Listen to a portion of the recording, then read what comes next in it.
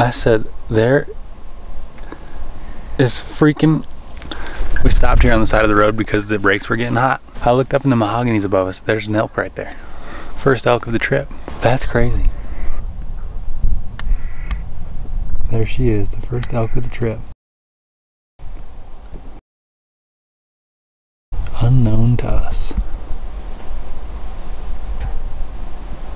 We drove right past her.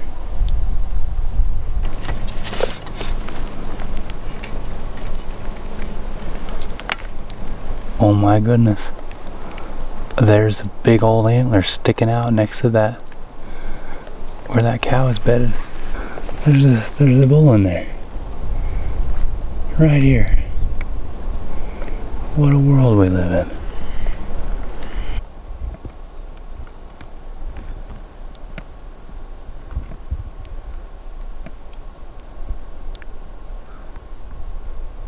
They're in a they're in a mahogany grove that's just got like rolls on all sides of it. Which means if we get in range of them at all, it's going to be like a 50 yard shot, which is great for Alexandra, but difficult for actually getting in range.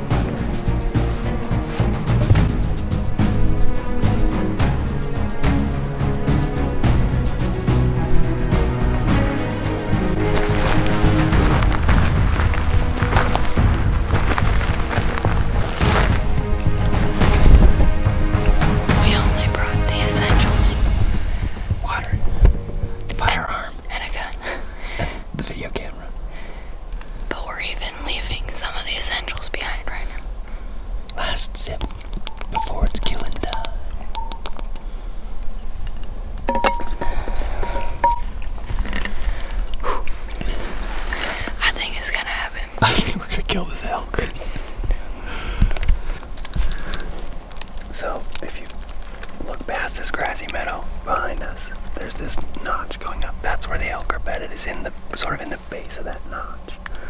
We're actually gonna go straight at them using these trees, one tree at a time, so that we can get a little bit of elevation on them and look down on them where you can hopefully get a shot.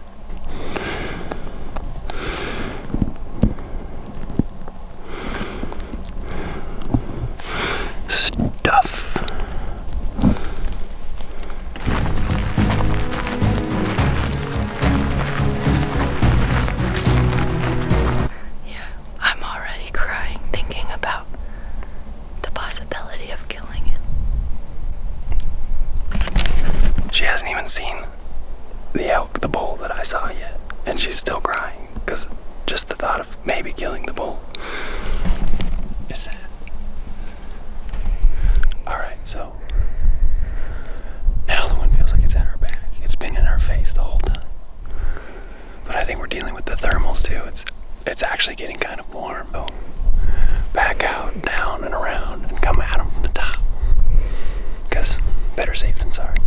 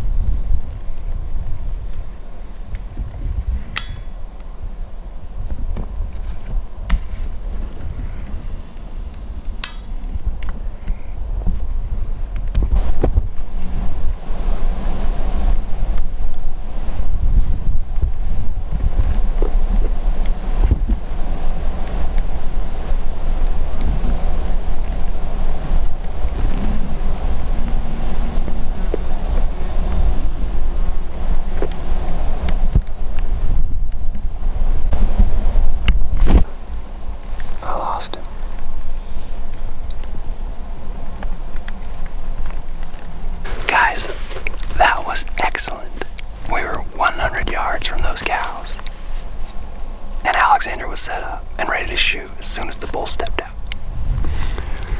And as things go, we were there for about five minutes. And all the direction, like this. Unfortunately, that direction was our direction. Just watch where they go over, and we'll refine them.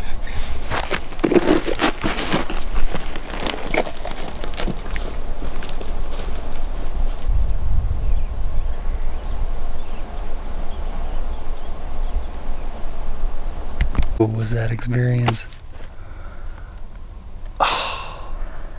Yeah. We I- climbed all the way up that ridge.